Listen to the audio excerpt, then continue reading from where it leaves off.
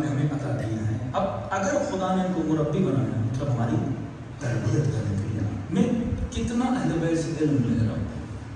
آج جس ٹاپک پہ ہم تھوڑی بہت بات کریں گے، وہ ہے مینجمنٹ اب تربیت میں سب سے اہم ترین جو نقطہ ہے، وہ مینجمنٹ بناتا ہے۔ فارسی میں بولیں تو مدیر، جو اچھی مدیریت کر سکے، وہ جنتی بن جاتا ہے جو اچھا مدیر ہو، وہ ایمان کی دسویں درجے پر جاتا ہے۔ اب کس چیز کی میں نے مدیریت کرنی ہے؟ کس چیز کو میں نے مینج کرنا ہے؟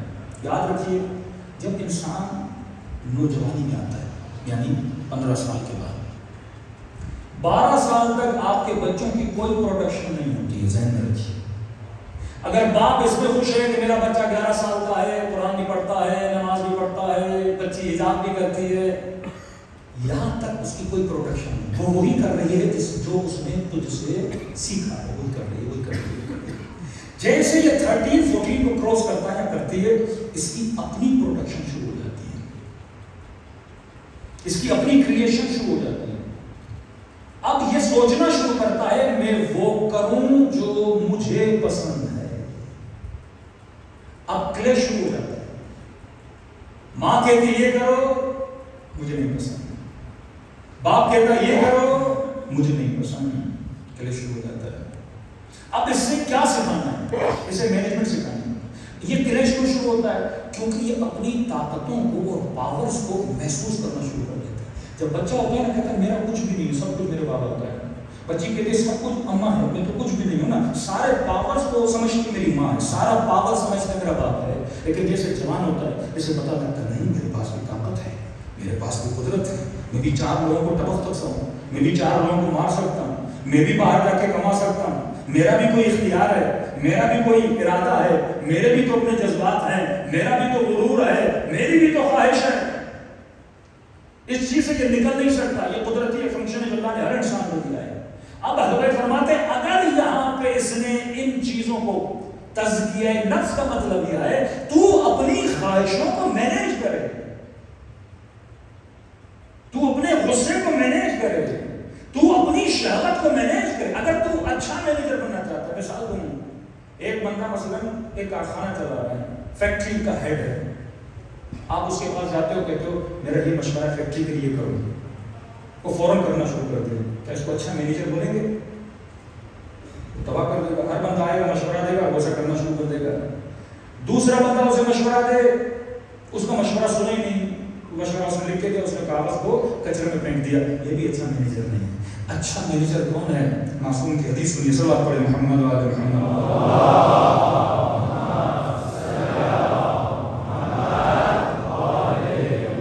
فرماتے ہیں اذا تفقه الرفیع تواضع اچھا مینیجر وہ ہوتا ہے جب اسے مشورہ دیا جاتا ہے وہ نہ فوراً اس مشورے پہ عمل کرتا ہے نہ فوراً اس مشورے کو کچرے کی ٹوکری میں پھینکتا ہے وہ اس مشورے میں سوچتا ہے غور کرتا ہے فکر کرتا ہے اس کے بعد کیا کرتا ہے عمل کرتا ہے اب جوان ہے فوراً اس کے سامنے ایک چیز آئے یہ فوراً دیکھتا نہیں ہے پہلے سوچتا ہے اس کو دیکھنے سے میری آخرت بنے گی یا خراب ہوگی حدود الہی کو سوچتا ہے یہی فرق ہے نظام اسلامی میں اور نظام تعبت میں یہ دو فرق ہیں ویسٹرن معاشروں میں اور اسلامی معاشروں میں انسان کی دو کیفیتیں ہوتی ہیں یا انسان منفرد ہوتا ہے مطلب جو اس کو بولا جائے، وہ انسان کرتا ہے۔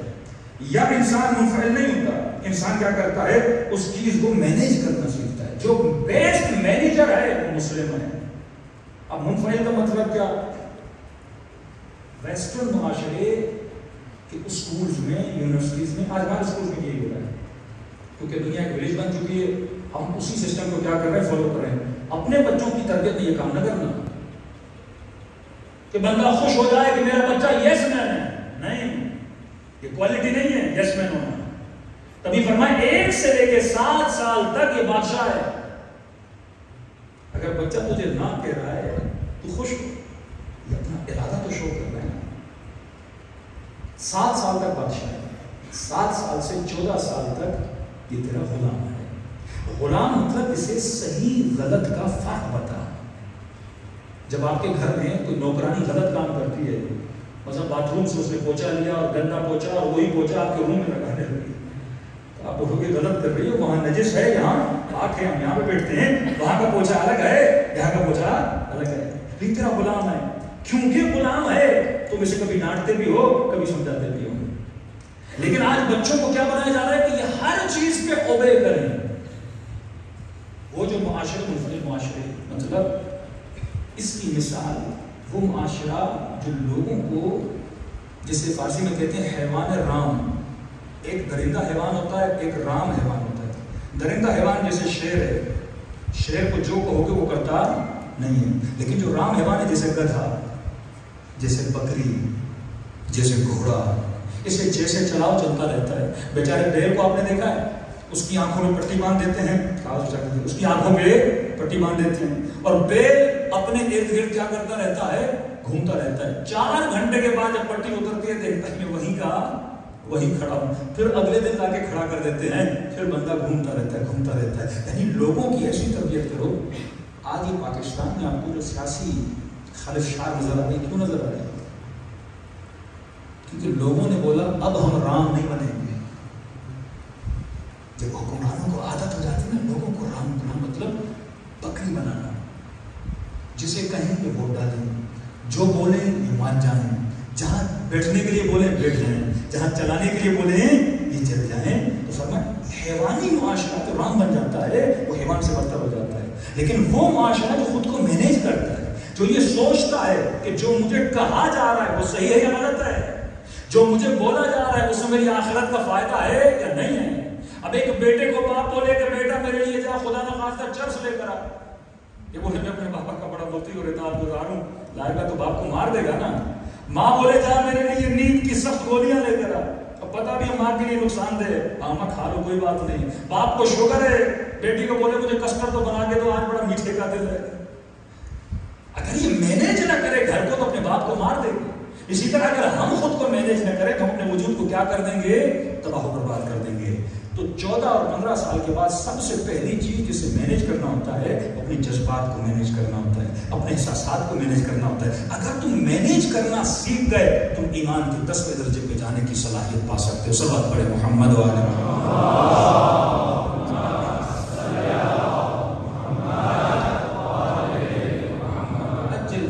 مثلا غم و غصے میں میں نے اپنے غم کو کیسے مینیج کرنا؟ آپ نے دیکھا ہوگا جو لوگ بیمار ہو گئے جن کا ایکسیڈنٹ ہو جاتا ہے تو گاڑیوں میں یا گھروں میں بعض لوگ ایک ایمرجنسی باکس رکھتے ہیں۔ اس باکس میں کچھ چیزیں گائیڈنس کے لیے لکھی ہوتی ہیں بھائی جب تمہارا ایکسیڈنٹ ہو جائے یا کوئی زخم آ جائے تو پریشان نہیں ہونا، پہلے تھوڑا سکون کے ساتھ بیٹھ جانا، اس کے بعد سوچ سمجھ کے کوئی کام کرنا۔ وہی کام پہلے بیٹھ نے کیا کہ مولا کے چہرے پہ لاب دہن تھی کہ یہ بات غم والی بات ہے علی طالب کے لیے۔ لیکن مولا علی کا جو ریئیکشن تھا، اس حالت میں مولا نے چہل قدمی کی مطلب سکون میں آئے تبھی فرمایا، اے علی کے چاہنے والے، کبھی بھی کوئی فیصلہ غصے کی حالت میں نہ کیا کرو۔ جب بھی غصے میں آؤ، زبان سے ایک لفظ نہ بولا کرو۔ کیونکہ جب غصے میں آتے ہو، شیطان تمہارے وجود کی ساری دشمنیوں کو تمہارے سامنے لا کے کھڑا کر دیتا ہے۔ تبھی غصے میں دی گئی طلاق مکتب اہل بیت میں طلاق نہیں مانی جاتی۔ کیونکہ بندہ غصے میں سوچ سمجھ کے بات نہیں کرتا۔ وہ اپنے کنٹرول میں نہیں ہوتا۔ وہ خود کو مینیج نہیں کر رہا ہوتا اسے کون مینیج کر رہا ہوتا ہے؟ اس کا غصہ مینیج کر رہا ہوتا ہے۔ تو جو خود کو مینیج کر لے، وہ اپنا بہترین تزکیہ کر سکتا ہے۔ تبھی فرمایا، جب غصہ آ جائے تو ایک گلاس ٹھنڈے پانی کا پیا کرو۔ جب غصہ آ جائے تو سجدے پروردگار عالم کیا کرو۔ جب غصہ آ جائے، آدھا گھنٹہ خاموشی اختیار کیا کرو۔ اس کے بعد فیصلہ کیا کرو۔ میں نے کسی مومن کو کہا، میں نے کہا، جب غصہ آتا ہے، مولا کا فرمان ہے تو جو پرانی دشمنی یاد آ جاتی ہے۔ اب آپ کا ایک دوست تھا دوستی میں رہتے ہیں کچھ اس نے زیادتیاں کی ہیں کچھ آپ نے زیادتیاں کی ہیں، اچانک غصے میں آ گئے۔ یا بیوی شوہر سے غصے میں آ گئی، شوہر بیوی کے ساتھ غصے میں آ گیا اور جیسے غصے میں آتی ہے۔ کہتی ہے، تیری ماں نے پانچ سال پہلے یہ کیا تھا۔ تیری بہن نے چھ سال پہلے یہ کیا تھا۔ تیرے ماموں نے میرے بھائی کے ساتھ یہ کیا تھا۔ وہ سارے جو دشمنیاں ہیں، وہ کیا ہو جاتی ہیں؟ ظاہر ہو جاتی ہیں۔ یا دوست دوست کے ساتھ غصے میں آتا ہے ہاں تم میری بہن کی شادی میں نہیں آئے تھے۔ ہاں تم نے میرے بھائی کے ساتھ یعنی وہ قصے اور کہانیاں جو بندے کو یاد بھی نہیں ہوتی، وہ غصے میں ساری یاد آ جاتی ہیں۔ شیطان جب بندہ غصے میں آتا ہے سارے تیر، تلوار، نیزے، پتھر لا کے آپ کے ہاتھ میں دے دیتا ہے۔ اب کہتے ہیں، فائر کر، جتنا مارنا ہے، مارنا شروع کر دے۔ بولا، فرماتے، علی والا جب غصے میں آتا ہے، اپنے غصے کو کیا کرتا ہے؟ مینیج کرتا ہے، اپنے احساسات کو مینیج کرتا ہے۔ اسلام کا مطلب یہ نہیں کہ آپ اپنے جذبات پہ فل اسٹاپ لگاؤ۔ اسلام لذتوں کا دشمن نہیں ہے۔ کہ اندھے بنو اور دنیا میں اندھے بن کے چلو، نہ کوئی چیز دیکھو، نہ کوئی چیز سنو۔ اسلام کہتا ہے، لذتوں کو بہترین طریقے سے استعمال کرو، لیکن حلال طریقے سے اس کو مینیج کر کے استعمال کرو۔ سب بات پڑھے محمد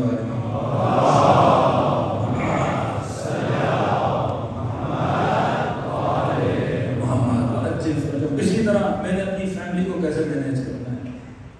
اسلام نے گھر میں جو مینجمنٹ دی ہے، جسے بڑی مینجمنٹ بولیں ایک بگ امیج میں دیکھیں وہ مرد کو دی ہے۔ لیکن گھر کے اندر جو داخلی مینجمنٹ ہے، وہ کس کو دی ہے؟ عورت کو دی ہے۔ عواطف کی مینجمنٹ عورت کو دی ہے۔ کئی اوقات خاتون گھر کے اندر مرد کو مینیج کرتی ہے باہر کے معاملات مرد کے کنٹرول میں، گھر کے معاملات خاتون کے کنٹرول ان کے گھروں میں سکون رہتا ہے تو میاں بیوی آپس میں بیٹھ کے اپنے معاملات کو طے کرتے ہیں۔ کہ یہ دائرہ اختیار میرا، یہ دائرہ اختیار تیرا۔ اب ماں بچی کو بولے یہاں نہیں جانا، باپ بولے چلے جاؤ۔ یا گھر میں کیا ہو جائے گا؟ جھگڑا ہو جائے گا۔ مثال کے طور پہ، ماں جب اپنے بچے کو چاقو دیتی ہے، تو چاقو دیتی ہے، بیٹا، یہ سیب کاٹو، یہ ترنج کاٹو، لیکن خیال کرنا، یہ تیز بھی ہے۔ اس سے انگلی بھی کٹ سکتی ہے۔ یعنی جب کسی چیز کو مینیج کیا جاتا ہے، اس کے خطرات کو بھی کیا کیا جاتا ہے؟ بتایا جاتا ہے۔ جب آپ خطرات کو نہیں بتائیں گے، اس خطرات پہ اپنی زندگی کو تباہ ہو برباد کر دے گا۔ اب سنیے کتنی پیاری حدیث امیر المؤمنین کی۔ فرماتے نعم العون علی طاعت اللہ. جناب سیدہ کے بارے میں فرماتے ہیں۔ فرماتے ہیں، علی کی زندگی میں، طاعت خدا میں، اگر علی کا بہترین کوئی مددگار ہے، وہ فاطمہ تو زہرا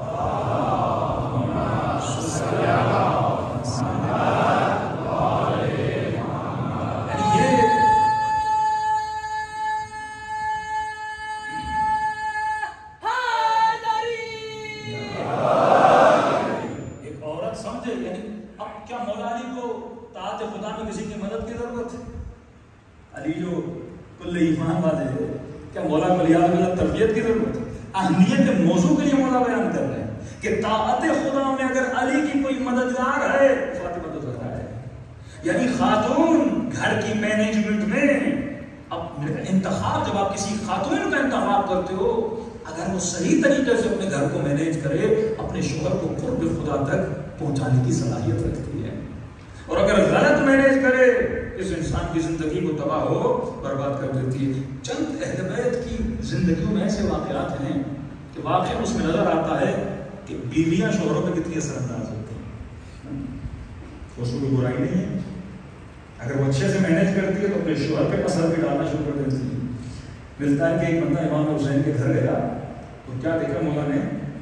گھر میں کالیچے کالی لگے ہوئے پیچھے جو آپ پشتیاں لگاتے ہیں دیوار پہ، ٹیک لگانے کے لیے وہ لگی ہوئی ہیں۔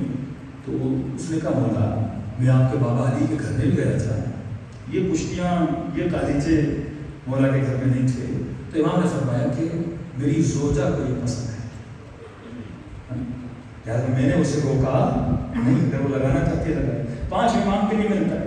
ایک بندہ امام گھر کے اندر تھے، اس کی نگاہ امام پہ پڑ گئی تو امام نے لال رنگ کے قریب ایک لباس، کلر پہنا ہوا تھا، جو باہر نہیں پہنا جاتا تھا، لیکن امام نے گھر کے اندر پہنا ہوا تھا۔ اس نے کہا، مولا یہ آپ نے کیسا لباس پہنا؟ تو امام نے کہا، پہلی بات تو میں گھر کے باہر نہیں پہنتا، گھر کے اندر پہنتا دوسرا، میری زوجہ کو یہ کپڑا پسند ہے، یہ رنگ پسند ہے، لہٰذا میں اس کی وجہ سے یہ کپڑے پہن رہا ہوں۔ ان اہل آپ کو کیا سکھا رہے ہیں؟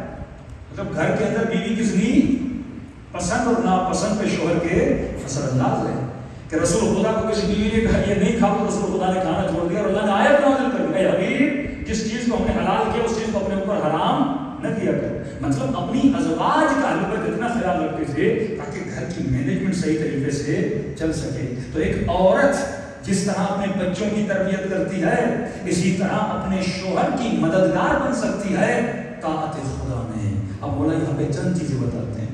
فرماتے ہیں کس میں؟ طاعت کون سی چیز اس مینجمنٹ کو خطرے میں ڈال سکتی ہے؟ یہ سب سے تلائی نقطہ گولڈن نقطہ ہے تربیت کے اعتبار سے۔ فرماتے زندگی میں جو بھی ڈسیزن لو ایک چیز کا خیال رکھنا۔ یہ بالکل ایسا ہے کہ آپ کو چاقو تو دیا جاتا ہے، لیکن یہ بھی بتایا جاتا ہے کہ یہ چاقو اتنا خطرناک ہے، اگر تم نے خیال نہیں کیا کہ تمہارے ہاتھ کو کاٹ سکتا ہے۔ اسی طرح اپنے آپ کو مینج کرنے کے لیے جذبات اور فیصلوں اور ڈیسیجن کو لینے کے لیے جو اصل تمہاری زندگی میں قانون جس کا ہر انسان کو خیال رکھنا ہے اور جو خیال ویسٹرن سوسائٹیز میں نہیں رکھا جاتا جو خیال صرف نظام اسلامی میں رکھا جاتا ہے اور جس چیز کا خیال نہیں رکھو گے تمہاری زندگیاں تمہارا ایمان اور قرب خدا تمہارے ہاتھ سے چھوٹ جائے گا، وہ کون سی چیز ہے؟ فرماتے وہ ایک چیز ہے، وہ ہے عزت اور کرامت انسان کا خیال کوئی بھی ڈیسیجن لو، یہ دیکھو، اس چیز سے تمہاری عزت تو تباہ و برباد نہیں ہو رہی۔ اگر عزت انسان تباہ و برباد ہو جائے، خدا اس چیز کو برداشت نہیں کرتا۔ شاید کوئی بندہ سوچے میں جھوٹ بولتا ہوں۔ موضوع فرماتے ہیں، جھوٹ بولنے کے بعد سب سے بڑا نقصان جو تجھے ہوتا ہے، تیری اپنی شخصیت خراب ہو جاتی ہے۔ تو اپنی نگاہوں میں ذلیل ہو جاتا ہے۔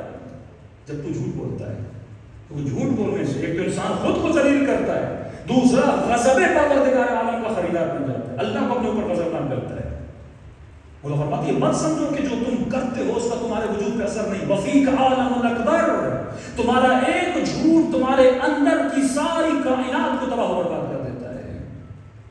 مشینیں بنی ہے کہ نہیں بنی؟ بندہ جھوٹ بولتا ہے، مشین بتاتی ہے، جھوٹ بول رہا ہے۔ کیسے اس کو پتا چلتا ہے؟ کہ انسان کے دماغ سے پتا چل رہا ہے، اس کے آساب سے پتا چل رہا ہے، اس کے مائنڈ اور برین سے پتا چل رہا ہے۔ مطلب اس جھوٹ نے آپ کے مائنڈ پہ اثر ڈالا، اس جھوٹ نے آپ کے دل پہ اثر ڈالا۔ اس جھوٹ نے آپ کے پورے وجود پہ اثر ڈالا۔ اب یہ سوچو، وہ جھوٹ جو میرے وجود ظاہری پہ اثر ڈال رہا ہے، وہ میرے روح کو کتنا تباہ برباد کر سکتا ہے؟ تبھی اسلام نے توبہ کا تصور دیا کہا، کوئی بھی گناہ کرو، یہ گناہ تمہارے ذات کو تباہ برباد کر دیتا ہے۔ فرمایا جب تک زندہ ہو اپنے گناہ سے توبہ کرو۔ اپنے گناہ سے توبہ کرو، اپنے گناہ سے توبہ کرو۔ اللہ کے کیا میرے بندے میں نے تجھے روکا تو نہیں ہے لیکن ایسی توبہ جو توبہ تو نصوب ہو اب یہ سوچو، تو جھوٹ بول کے اپنی عزت نفس کو تباہ کر رہا ہے، کرامت انسانی کو تباہ کر رہا ہے۔ جس انسان کو خدا نے کریم کہا کہ انسان مال دنیا کے شمر نے کیا کیا تھا؟ کرامت انسانی کو ذلیل کیا تھا۔ یعنی چند سکھوں کے لیے تم نے انسانی کرامت کو تباہ برباد کر دیا۔ یزید نے کیا کیا تھا؟ انسانی کرامت کو نیز کو نابود کر دیا۔ آج انسان یہ سوچے، میں نے جھوٹ بول کے کیا پایا؟ اور اپنے اندر کتنی ذلتوں کو جنم دیا۔ سب پڑے محمد والے محمد۔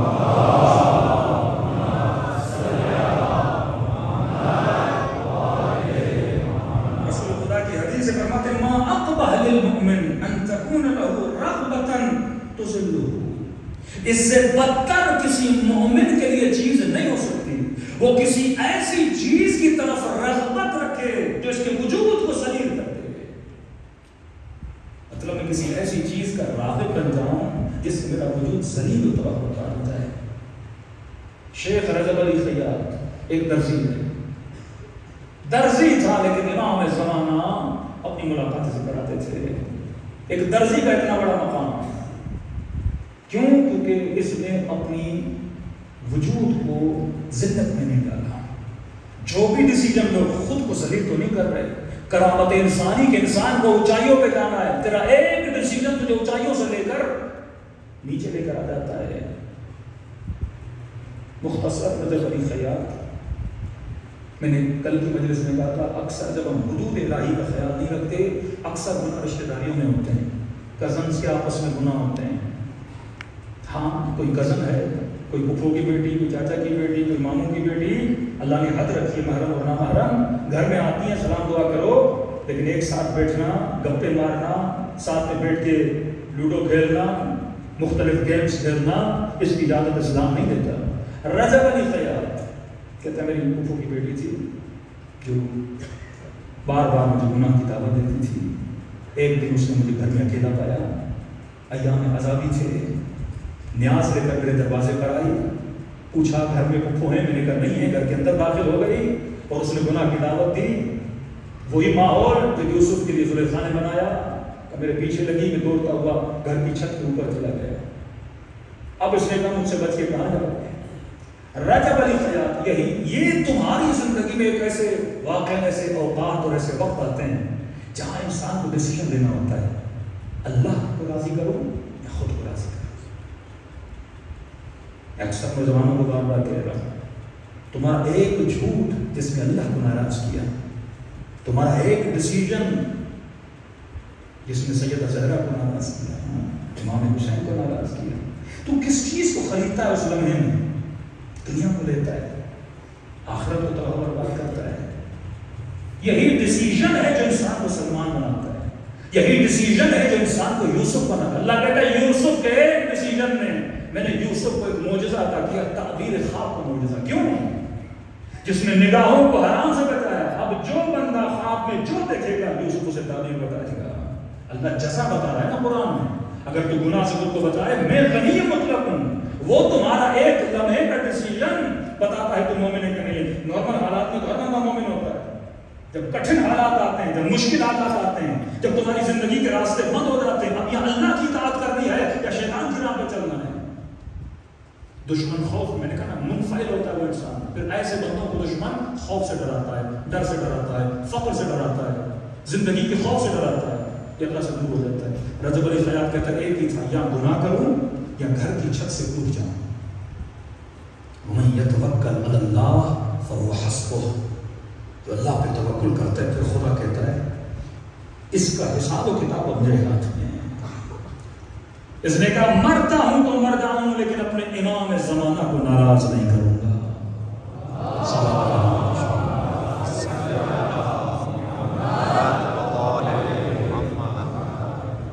مرتا ہوں تو مر جاؤں لیکن اپنے مولا کو ناراض نہیں کروں گا۔ ایک ہی لمحہ ہوتا ہے جو میں زندگی میں ڈیسیجن لیتا ہوں۔ یوسف نے ڈیسیجن لیا وہاں سے بھاگ جائے اس خاتون کی میں نے مثال دی، امام زمانہ سے مومن زیارت کرنا چاہتا تھا۔ چالیس ہفتے اس نے عمل کیا۔ امام نے کہا، فلاں گھر پہ چلے گا ایک خاتون ہے، وہاں پہ گیا، جنازہ پڑا ہوا تھا۔ امام آئے، امام نے نماز پڑھائی، میں نے لوگوں سے پوچھا، اس کا اتنا بڑا مقام کہ حجت خدا اس کی نماز پڑھا رہے ہیں؟ کشاہ نے حجاب پہ پابندی ڈالی۔ اس خاتون نے چودہ سال اس نے گھر سے باہر پاؤں نہیں رکھا۔ یہ میرا ڈیسیجن ہوتا ہے نا۔ مطلب اس نے کرامت انسانی پہ کمپرومائز نہیں کیا۔ اس نے اپنی عزت نفس پہ کمپرومائز نہیں کیا۔ یہاں میں کمپرومائز کرتا ہوں اپنے ذات پر، روح پہ پاؤں رکھتا ہوں اور کہتا ہوں، ایک قدم دنیا کی طرف بڑھوں گا۔ اللہ کہتا تم نے خود کو ذلیل کر دیا۔ اب یہ تب تک اللہ قبول نہیں کرتا جب تک میں توبہ تو نسوح نہ کروں۔ ایک ایسی توبہ جس سے میرا گناہ مٹ جائے۔ رجب علی خیال کہتا ہے، میں نے یا اللہ کہہ کے گھر کی چھت سے نیچے کود پڑا۔ میں نے کہا، موت آتی آ جائے۔ گناہ نہیں کروں۔ گا کتنی بار ممبروں سے واقعات بتایا جائے۔ اس جوان نے گناہ سے بچنے کے لیے ٹوائلٹ کی گندگی اپنے بدن پہ لگا دی۔ ظاہر جو خاتون اسے اپنی طرف بلا رہی تھی، وہ خوبصورتی کی وجہ سے بلا رہی تھی نا۔ جب بدن سے بو آنے لگی کر نکل جا میرے گھر سے، بدبودار انسان۔ خوشی خوشی نکل گیا امام میں گیا، نہایا، خدا تیرا شکر ہے۔ دنیا میں جسم بدبودار بنا، لیکن جنت کی بدبو سے اگر یہ وہاں پہ بدبودار ہوتا تو جنت میں کیسے جاتا میں نے یہاں تو خود کو بدبودار بنایا، لیکن وہاں میں جسم کو خوشبودار بناؤں گا فرماتے ہیں، یہ شخص اللہ نے اسے وہ کرامت عطا کی کہ اللہ نے اس کے پسینے میں بھی عطر کی خوشبو رکھ دی۔ اب جس محلے سے گزرتا تھا، لوگ اس کو، اس کی خوشبو سے پہچانتے تھے۔ رجب علی کہتا ہے، جیسے چھت سے نیچے کدا کہتا ایسے لگا جیسے رحمت خدا نے مجھے اپنے باہوں میں لے لیا زمین کی ذرہ برابر مٹی بھی میرے وجن پہ نہ لگی۔ فوراً دوڑتا ہوا مسجد گیا۔ اب جو نماز پڑھی ہے، نماز اور جب تو جھوٹ بول کے نماز پڑھتا ہے جب تو وجود کو ذلیل کر کے نماز پڑھتا ہے کبھی رشوت لے کر، کبھی تہمت لگا کر، کبھی بدحجابی کر کے، کبھی اللہ کی مخالفت کر کے، کبھی زنا اور شراب پی کے پھر مسلے پہ کھڑا ہوتا ہے۔ تجھے پتا ہوتا ہے تو کتنا ذلیل کر چکا ہے۔ اب یہ زندت کو سکون نہیں دیتی۔ کبھی اللہ کہتا ہے، میں ظالم نہیں ہوں۔ آ جا، توبہ کر کے۔ میں پھر تجھے وہ عزت عطا کروں گا۔ لیکن کون سی توبہ؟ جو توبت النسو نسو نسو جانتے ہیں توبت النسو کا قصہ کیا ہے؟ نسو ایک جوان تھا، اس کا نام تھا نسو اس کی آواز لڑکیوں جیسی تھی۔ بات کرتا تو بالکل ایسے کرتا جیسے لڑکی بات کر رہی اس نے اس سے فائدہ لیا۔ نوجوان تھا، ابھی داڑھی واڑی اس کی اتری نہیں تھی۔ اس نے کیا کیا؟ بدبختانہ حرکت کی۔ خواتین کے حمام میں جا کے کام کر اب عورتوں کو کیا پتا ہے مرد ہے۔ وہاں پہ کام کرتا رہا۔ اپنی آواز سے فائدہ۔ کئی لوگ اپنے حسن سے، کئی لوگ اپنے مال سے غلط کام کرتے ہیں نا۔ مطلب اپنے نفس کو، انسان جس کو خدا نے کریم بنایا یہ کرامت انسانی کو تباہ کرتا ہے۔ کرامت کب آئے گی؟ اس کی نشانی معصوم بتاتے ہیں، لیکن یہ سن لو کئی دن کام کرتا ہے۔ علی آزم اللہ بندے، شہوت کا نام۔ بادشاہ کی بیٹی بھی وہاں آنے آتی تھی۔ نہاتے نہاتے اس کا ایک ہیرا گم ہو گیا۔ ہاں، گردن بند اس کا گم ہو گیا۔ کسب کی چیکنگ کرو اب یہ تو عمر تھا نا بدبخت تو اب چیکنگ ہوئی تو پتہ چل جائے گا میں عورت نہیں ہوں جا کے جو خزینہ تھا وہاں پہ، جہاں پہ پانی وانی گرم ہوتا تھا، وہاں کہتے چھوڑ کے راستے میں چیکنگ ہو رہی ہے، پتہ چل جائے اس کی گردن کٹ جائے۔ محلے میں بدنام ہو جائے۔ بادشاہ کی بیٹی۔ وہاں پہ اس نے خدا کو پکارا۔ کہ خدا ذلیل ہو جاؤں ذلیل تو ہو چکا تھا۔ ایک ذلت لوگوں کے سامنے ہے۔ ایک ذلت تیرے اندر ہے جو تو گناہ کر کے خود کو ذلیل بناتا ہے لوگوں کو نہیں پتا تو کیا ہوا۔ تجھے تو پتا ہے نا تجھے خطا کی ہے۔ تجھے تو پتا ہے نا تجھے غلطی کی ہے۔ خود کو زنم تو نفسی گئی ہے نا۔ تو خود کو ذلیل بنایا۔ یا لطیف رحم عبدک الذلیل الضعیف۔ اے خدا اس عبد ذلیل کو بخش دے جس نے خود کو گناہ کر کے ذلیل بنایا کس کے سامنے؟ دنیا کے سامنے، چند سکوں کے سامنے، چند پیسوں کے لیے، چند کاغذوں کے لیے۔ تو نے خود کو ذلیل بنا دیا۔ کہتے اللہ کو بکائے خدا عزت بچا رہے عزت بچا رہے توبہ کرتا ہوں۔ آج کے بعد گناہ نہیں کروں گا۔ اس کے وہ جو جس خزینے میں چھپا ہوا تھا، وہ کھولنا ہی چاہتے تھے، اچانک پیچھے سے آواز آئی، ہار مل گیا۔ اس کی جان چھوڑو۔ وہاں سے نکلا۔ سجدے میں اتنا گریا کیا ہے خدا اگر تو نہ بچاتا، میں کیا کرتا؟ کئی دن حمام میں نہیں گیا، بادشاہ کی بیٹی نے پیغام بھیجا، کیوں نہیں آتا؟ میں سو اس نے کہا بیمار ہوں علیب ہوں، اسی لیے نہیں آ رہا یا نہیں آ رہی۔ کہتا چلا گیا۔ اس نے کہا یہ میری جان چھوڑنے والے نہیں ہیں، یہ ایک صحرا میں پہاڑی تھی، وہاں جا کے بس گیا۔ وہی عبادت کرتا اے خدا تو نے عزت میری بچائی میں نے تیری عزت نہیں کی تھی۔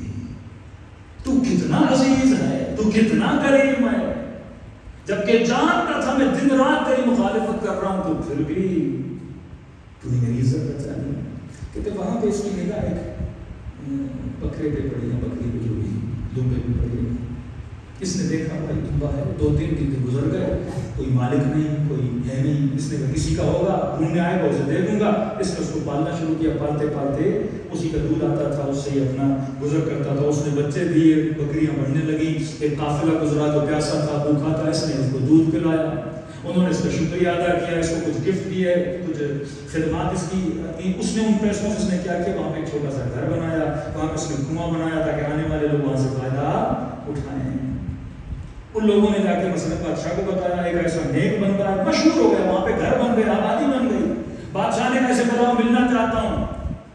اس نے کہا نہیں، میں بادشاہ سے نہیں ملوں۔ بادشاہ نے کہا، میں ملنے آتا ہوں۔ جب بادشاہ ملنے گیا ابھی اس سے ملا نہیں تھا۔ اسرائیل نے بادشاہ کی روح کو قبض کر دیا۔ رسم تھی، بادشاہ جس سے ملنے جائے اور اگر انتقال ہو جائے، اسی کو تخت حکومت پہ بٹھایا جاتا تھا۔ اللہ کی عزت تو کر۔ دیکھ خدا تجھے کیسے عزیز بناتا ہے۔ تخت پہ بیٹھا، اسی بادشاہ کی بیٹی سے شادی ہوئی اگر وہاں رسوا ہوتا ہے اس کے سر قلم کروا دیتی، یہاں اس کی شادی ہو گئی۔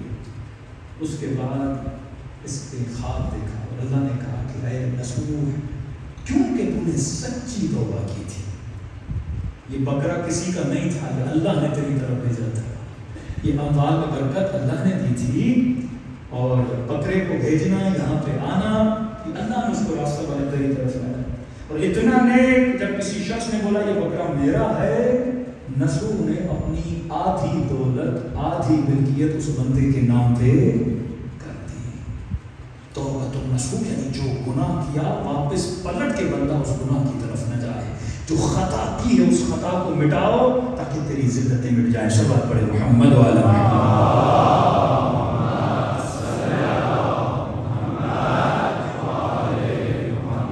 ہمارے دیگر سب بات پڑے محمد والا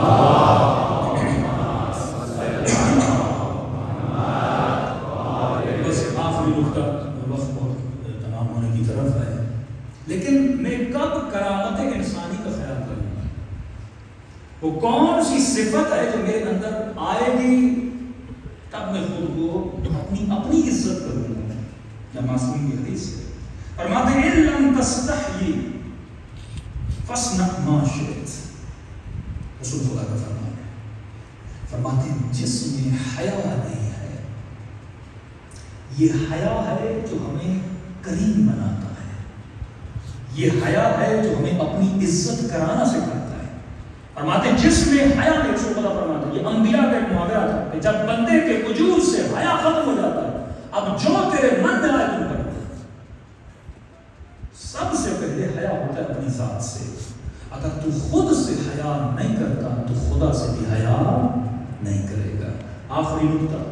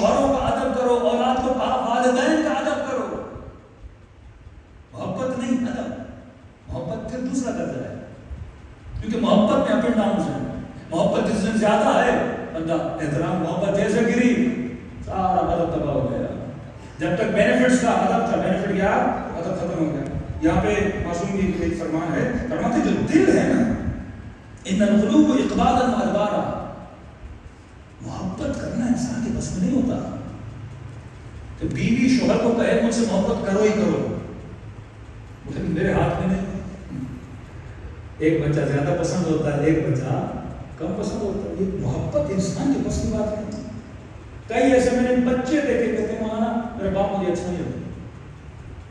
اب ایسے ڈنڈے کے زور پہ بولو، باپ سے محبت کو کیسے کرے اچھا ہی نہیں لگتا۔ مجھے کوئی لڑکی کہے، میری ماں مجھے اچھی نہیں لگتی، کوئی بھائی کہے، مجھے میرا بھائی اچھا نہیں لگتا۔ محبت میں جبر نہیں ہے فرماتے ہیں، کل بندے کے ہاتھ میں نہیں ہوتا۔ اب کسی کو کوئی پسند ہے، پتہ نہیں کیوں پسند ہے، نہیں پسند پتہ نہیں کیوں نہیں پسند مختلف ریزن ہے۔ تبھی فرمایا آپ کے والدین میں محبت کا کردار نہیں ہے ادب ہے۔ باپ پسند ہے یا نہیں پسند؟ اللہ نے یہ نہیں کہا کہ باپ سے محبت کر، کہا باپ کا ادب کر۔ پسند نہیں بھی ہے ادب کر۔ بلا تقول لهم اف اف تک نہ بول۔ اچھا نہیں لگتا، چلو یہ تیرا دل کا معاملہ ہے، لیکن ادب کا حیا کا معاملہ ہے۔ حیا ہوگا تو ادب ہوگا۔ اللہ کا حیا ہوگا، اللہ کے حضور میں گناہ نہیں کرے گا رجب علی، ماں حیا تھا، تبھی اللہ کا ادب کیا، گناہ نہیں کیا۔ یہ جوان دنیا کے لیے سو جھوٹ بولتا ہے، یہ عورت دنیا کے لیے لاکھ جھوٹ بولے کسی خاتون نے کہا مولانا آپ کی مجلس سنی، اب میں کیا کروں؟ میں نے کہا، آپ نے کیا کیا ہے؟ کہ مولانا ایک جگہ جاب مل رہی تھی، میرے باس نے کہا، دوپٹہ اٹھاؤ۔ میں نے کہا، میں اپنے حجاب پہ کمپرومائز نہیں کروں گا۔ کہا، ٹھیک ہے، چلو، اتنی آپ کو اجازت ہے، لیکن یہاں پہ ہماری میٹنگس ہوتی ہیں۔ اور میٹنگ میں جب لوگ ملنے آتے ہیں کانفرنسز ہوتی ہیں ہینڈ شیک ہوتا ہے۔ کم از کم یہ تو کرنا پڑے گا۔ مولانا، میں نے اس پہ کمپرومائز کر لیا میں نے کہا تم نے اللہ کا حیا نہیں کیا۔ حیا ہوتا اپنے وجود کو ذلیل نہ کرتی جاب کے لیے، پیسے کے لیے، دولت کے لیے۔ بے ادب محروم از لطف رب۔ جب تو بے ادب بنتا، اللہ کا رسول معلوم ہوتا۔ عباس عباس بنے ادب کی وجہ سے نا۔ حسین کا حیا تھا ادب زیادہ تھی۔ اللہ کا حیا ہو تو ادب بنتی ہے۔ چھٹے امام کے پاس گیا مولا میں گناہ کرنا نہیں چاہتا عادت ہے امام نے کہا، یہ بتا۔ باپ کے سامنے کرے گا کہ نہیں؟ ماں کے سامنے نہیں۔ لوگ تیرا احترام کرتے ہیں، ان کے سامنے نہیں۔ جن کا تو احترام کرتا ہے، ان کے سامنے نہیں۔ کہ یہ بتا، چھ سات سال کے بچے کے سامنے گناہ کرے گا کہ مولا نہیں۔ میرے چھٹے امام رونے لگے۔ کہ مولا، غلطی کی ہوئے کہ تیری سمجھ نہیں آئی۔ چھ سال کے بچے کا بھی اتنا ادب کہ میرے رب کی عزت بچے جتنی بھی نہیں امام زمانہ کا ادب نہیں کرتا پھر کہتا ہے بڑا مجلس میں آتے ہیں میری زندگی میں آتے ہیں تو کیسے حضور خدا میں گناہ کرتا ہے تو اگر کرامت انسانی چاہتے ہو تو حیا کی صفت ہو اور اگر حیا چاہتے ہو تو حیا کس کو جنم دیتا ہے ادب کو جنم دیتا ہے عورت کا جہاد معصومیت مردوں کے لیے نہ ہو چند چیزیں عورتوں مردوں دونوں کے لیے آ جائیں تبھی فرنا حاصل قبل ان تو حاصل اپنا حساب و کتاب کا ہے کہ کہاں پہ تو ادب کر رہا ہے کہاں پہ بے ادبی کر رہا ہے باپ کیسا بھی ہو ادب واجب ہے ماں کیسی بھی ہو ادب واجب ہے شوہر کیسا بھی ہو ادب واجب ہے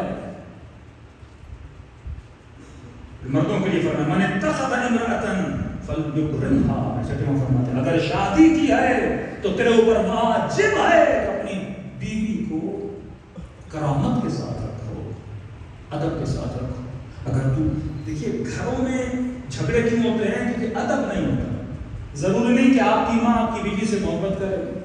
اور بار بار گھر میں لیکچر کو سب کو بٹھا کے ادھر بیوی بٹھاؤ، ادھر ماں بٹھاؤ، ادھر بہن کو بٹھاؤ، ادھر بھائیوں کی بیویوں کو بٹھاؤ۔ ہاں بھائی، گھر کا ماحول اچھا کرنا ہے تو محبت کرو۔ وہ دل میں بولے تم اس کی شکل دیکھتی ہیں۔ مجھے چڑ آنے لگتے ہو تم کہتے محبت کرو۔ محبت کوئی جبری ہے، محبت کوئی زبردستی ہوتی ہے۔ آپس میں لڑو نہیں، ہم رشتے دار ہیں، محبت کرو، محبت کا ماحول بناؤ۔ جھگڑے ختم ہو جائیں گے، محبت سے جھگڑے ختم نہیں ہوتے ادب سے جھگڑے ختم ہوتے ہیں ماں کو بولو اماں میری بیوی پسند نہیں ٹھیک ہے بیوی کو بولو میری ماں اچھی نہیں لگتی ٹھیک ہے۔ بہن کو بولو میری بیوی اچھی لگتی ٹھیک ہے۔ لیکن ادب کرو۔ بے ادبی نہ کرو۔ اور ادب کیسے ہوتا ہے؟ معصوم کو فرمانا۔ فرماتے ہیں، ادب ہوتا ہے زبان کو کنٹرول کرنے سے۔ پہلی بے ادبی زبان سے شروع ہوتی ہے۔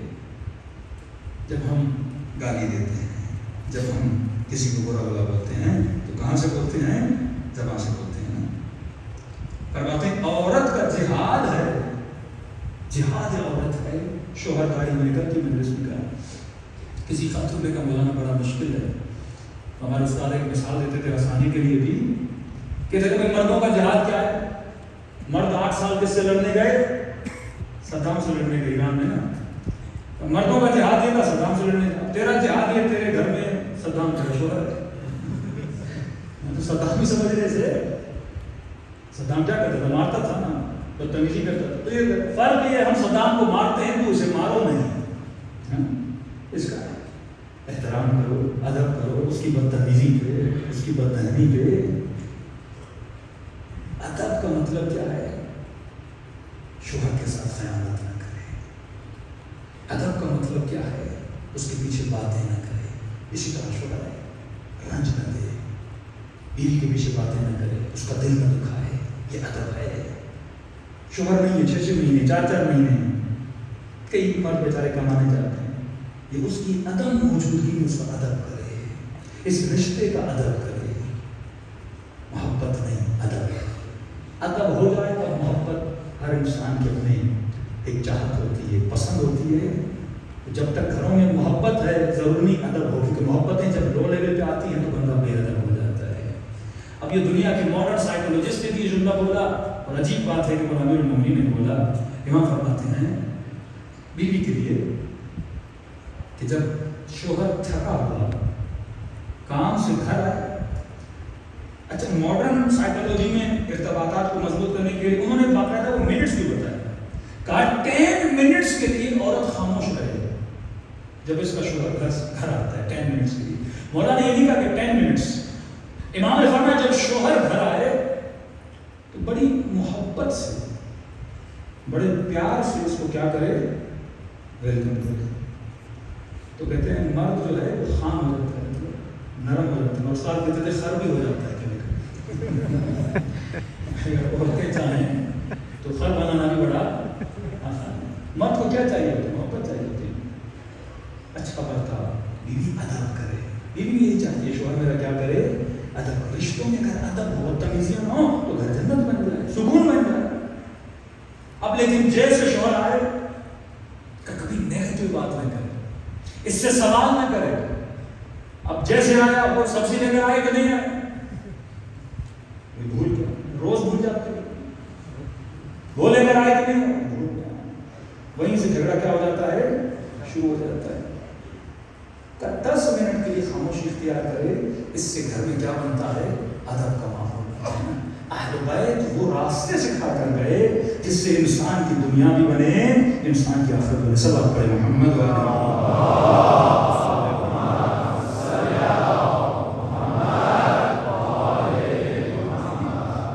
یہ تو گھر کا ادب تھا اب ادب کی مناظر جب طے ہوتی ہیں پھر آپ جب باہر آتے ہیں لوگوں کا ادب ایک منافق تھا رسول خدا کے ساتھ آگے بیٹھتا تھا پوچھتا تھا جی رسول اللہ آج کیا کریں گے کل کیا کریں گے پھر ساری خبریں لے کے منافقین کو بتاتا تھا جبرائیل نازل ہوئے، یا رسول اللہ، یہ منافق ہے بڑا اس شکل والا ہے، اس رنگ والا ہے، اس ہولیے والا ہے، یہاں آ کے بیٹھتا ہے اور آپ کی خبریں جا کے وہاں پہنچاتا ہے۔ اگلے دن آیا، رسول خدا نے سے ادھر تو آ تو میری خبریں پہنچاتا ہے۔ تو میری باتیں پہنچاتا ہے۔ کہتا ہے، نہیں یا رسول اللہ، کس نے آپ سے بولا؟ کہ وہی جو میرے اوپر وہی نازل کرتا ہے، بتا کر گیا۔ اب کہتا ہے، میں سمجھ گیا، رسول کو جبرائیل نے بتا دیا۔ اس نے کہا نہیں ہے رسول۔ میں آپ کی خبریں نہیں پہنچاتا۔ رسول خدا نے کہا، تم صحیح کہہ رہا ہوگا، میں نے مان لیا۔ لیکن آگے سے یہ کام نہ کرنا۔ یعنی دونوں جملے کہے۔ اسے بھی راضی کیا کہ تو صحیح کہہ رہا ہے۔ مطلب میں تجھے جھٹلا نہیں رہا۔ لیکن پھر بھی یہ کہا کہ آگے سے یہ کام نہ کرنا۔ کہتا ٹھیک ہے۔ چلا گیا منافقوں کے پاس۔ اور کہا کہ یہ مسلمانوں کا رسول کتنا سادہ لو ہے کتنا سادہ ہے۔ جبرائیل نے آ کے بتایا کہ باتیں بتاتا ہوں۔ میں نے کہا نہیں بتاتا مان گیا۔ تو فارسی میں پہلے بولتے ہیں دہن اردو میں بولتے ہیں کانوں کا کچا گیا کہا کہ دہن ہے، جو بولو مان لیتا ہے۔ ہاں، یہ نہیں کہتا میں جھوٹ بول رہا ہوں، مجھے جبرائیل نے بتایا، کوئی ضد نہیں۔ گھروں میں جھگڑے ہوتے ہیں نا یہ اخلاق کے رسول ہے آپ کو پتا ہے، بیوی جھوٹ بول رہی ہے۔ بیوی کو پتا ہو شوہر جھوٹ بول رہا ہے۔ باپ کو پتا ہو بیٹا جھوٹ بول رہا ہے۔ کہاں بیٹا صحیح کر رہے لیکن آگے سے نہ کرنا۔ بیوی کو بولو صحیح بول رہے ہیں، لیکن آگے سے نہ کرنا۔ مطلب ادب کے ذریعے، اخلاق کے ذریعے اسے کیا کرو؟ نرم کرو۔ جیسے اس نے یہ کہا تو اللہ نے قرآن آیت نازل کی۔ ومنهم الذين يؤذون النبي ويقولون هو اذن جو لوگ یہ بولتے ہیں کہ میرا نبی سادہ وہ ہے اذن کانوں کا کچا ہے۔ میرے حبیب کو سب پتا ہے، میرا حبیب با ادب ہے۔ وہ تیری آبرو کو لگ رہا ہے۔ جب آپ امام حسین کے پاس جاتے ہو نا، دنیا میں ساری برائی حسین کو نہیں پتا، اللہ کو نہیں پتا۔ جب دعائیں کمیر میں ہم رو کے توبہ بھی کر رہے ہوتے ہیں اللہ کو پتا ہے کل جا کے پھر گناہ کرے گا کہتا ہے کوئی بات نہیں، تو اس صحیح کہہ رہا ہے۔ لیکن اسے پتا ہوتا ہے ہم کل کیا کریں گے؟ کل جا کے گناہ کریں گے۔ یہ کردار تھا محمد والے محمد کا۔ امام حسن کا غلام تھا۔ مولا حسن کھیتی باڑی کر کے کہتے شدید گرمی، وجود پسینہ پسینہ نہ کر گھر کا دروازہ کھٹ کھٹ کھٹ کھٹایا دھوپ موجود پر پڑ رہی ہے۔ پسینے سے شد بہت دیر گزری پھر غلام آیا اس نے کے دروازہ کھولا امام نے کہا میں اتنی دیر سے گرمی میں کھڑا تجھے آواز نہیں آ رہی تھی کہ حسن بن علی آ رہی تھی؟ امام نے کہا دروازہ کیوں نہیں کھولا؟ کہ میں تھکا ہوا تھا۔ اٹھا نہیں جا رہا تھا۔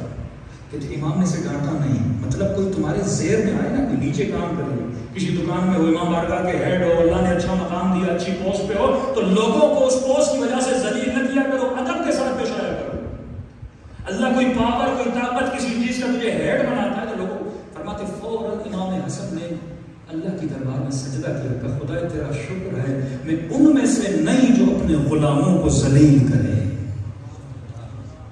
تو نے میری دل میں کیا رکھا ہے؟ رحمت، چھوٹے کا ادب، بڑے کا ادب۔ فقیر آئے امام حسین کے دروازے پر۔ مولا حسین، خیرات ہے۔ امام حسین حسین کا گھر جہاں تھا۔ کیونکہ محلے بنی ہاشم تھوڑے فاصلے پہ امام حسن کا بھی گھر تھا۔ تو امام حسین نے کہا کہ حسن سے خیرات مانگیے۔ کہ نہیں مولا، میں مولا حسن کے پاس نہیں کہ آپ کے پاس ہے۔ کہا، میں حسن سے سبقت نہیں لے سکتا۔ میں کیسے اپنے بھائی سے آگے بڑھوں؟ پہلے جا میرے بھائی سے خیرات مانگ۔ باپ مر جائے نا تو بڑے بھائی کا احترام ہوتا۔ ہے ہے اسلام میں سکھاتے ہیں۔ کہتے یہ فقیر رہا امام حسن سے خیرات مانگی۔ مولا حسن نے سے ساٹھ درہم لیے آیا امام حسن کے پاس۔ کہا کہ مولا آپ وہاں سے خیرات مانگتے ہیں، آپ بھی خیرات دیجیے۔ کہا، کتنے دیے حسن نے؟ کہا، ساٹھ دیے۔ امام اندر میں انسٹھ لے کر آئے۔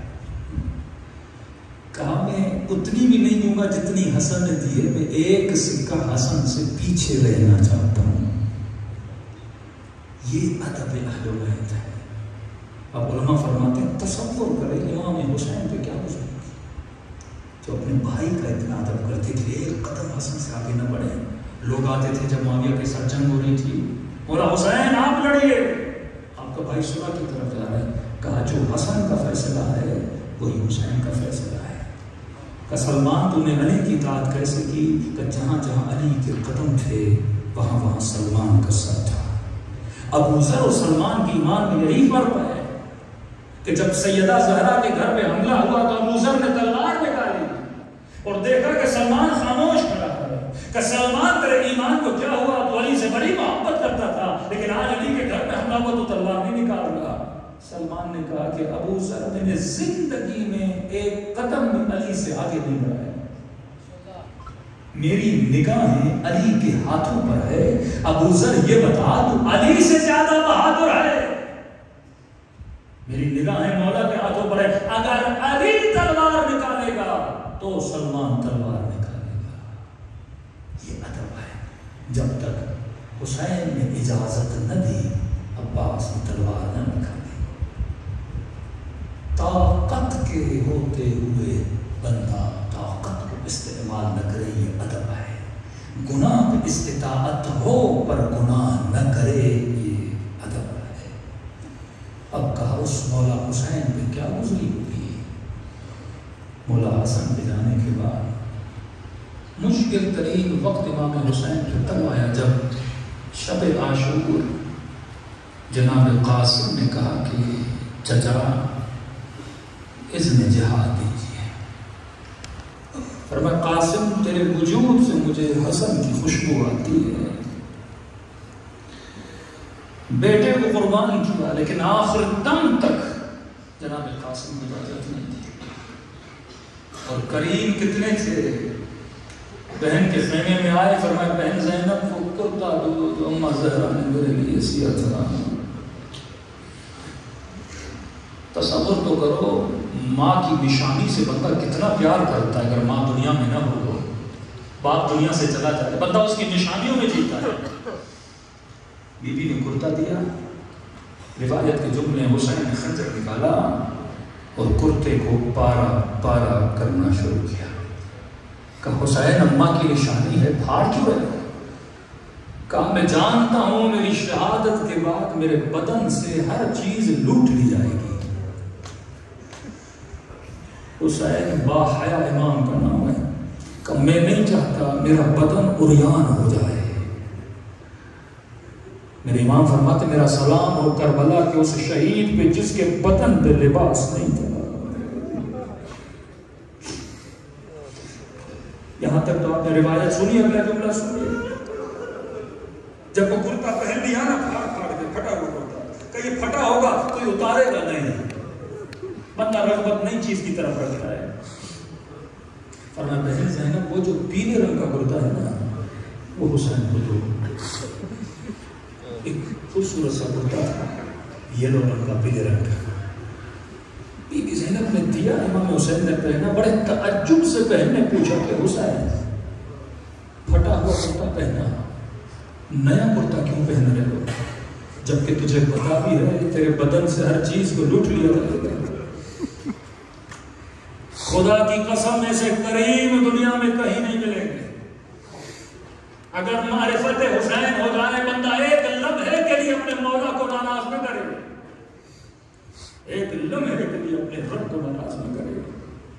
اتنے کریم حسین، میرے ماں جائے بہن تجھ کو قربان۔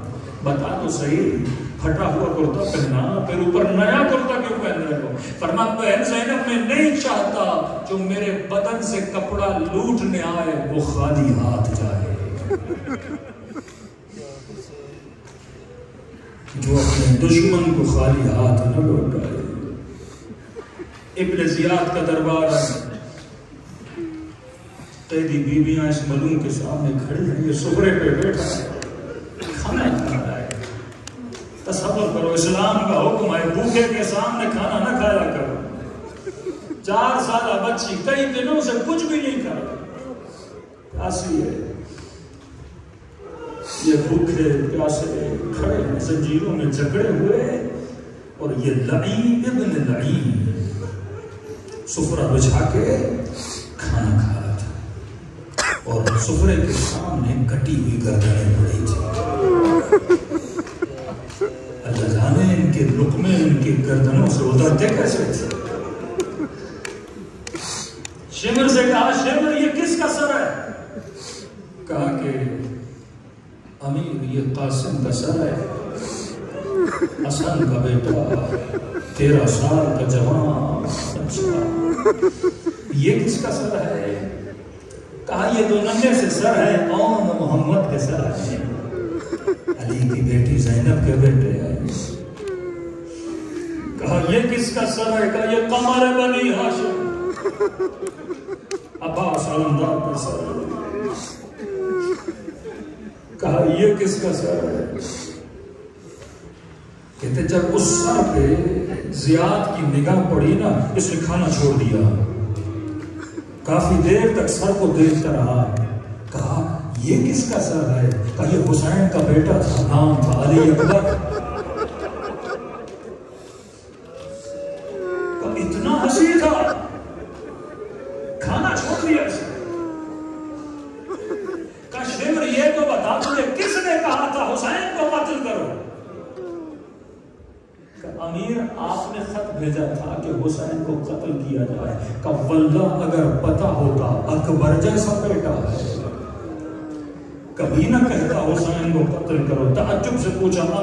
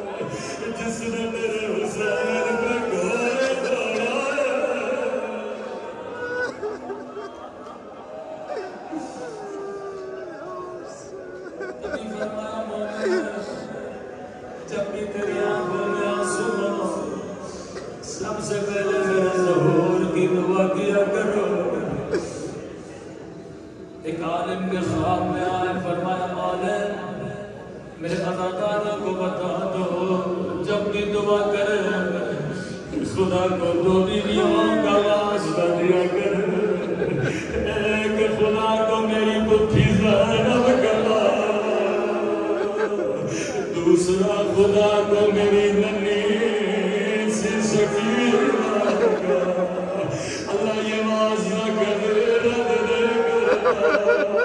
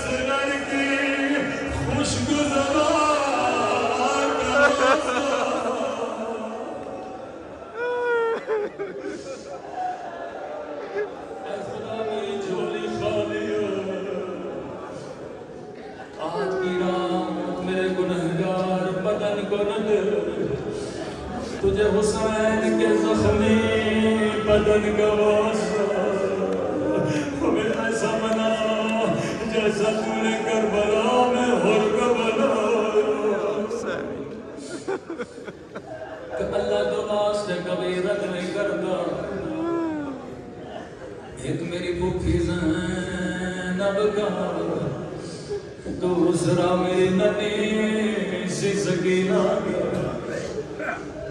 اکثر بی بی زینب ایک جملہ کہا کرتی تھی فرماتی تھی دکھ اس بات کا زینب کو نہیں ہو نہیں کہ غیروں نے نہیں پہچانا۔ زینب کو دکھ اس بات کا تھا کہ اپنوں نے نہیں پہچانا۔ میں کہوں میں بھی اپنوں کا قصور نہیں تھا۔ اپنوں نے کبھی یہ نہیں سوچا تھا کہ کجا سہنا کجا شرابی کا دربار۔ کجا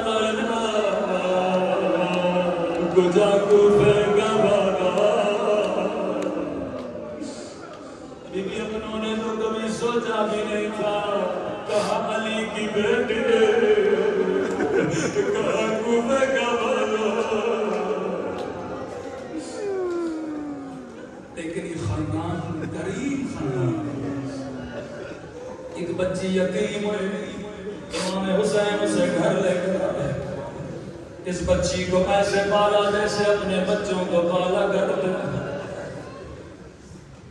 قرآن بھی بھی زینب میں پڑھا۔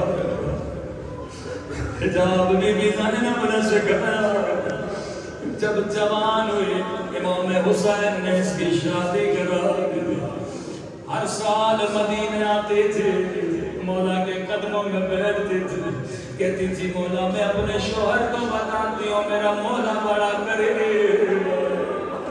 مجھے ایسے پالا جیسے اپنے بچوں کو پالتے مولا، ہر سال جب مدینے آتی ہوں، مجھ سے سوال کرتا ہے، کب تیرا مولا آئے گا؟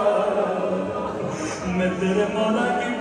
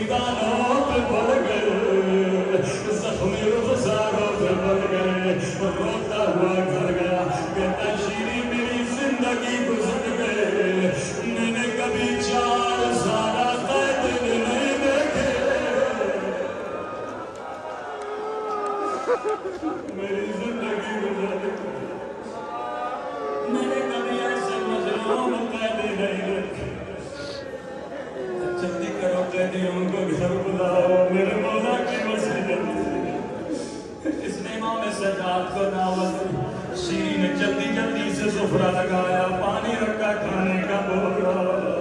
اب جیسے پہلی بھی بیا شیرین کے گھر میں آئی اللہ جانے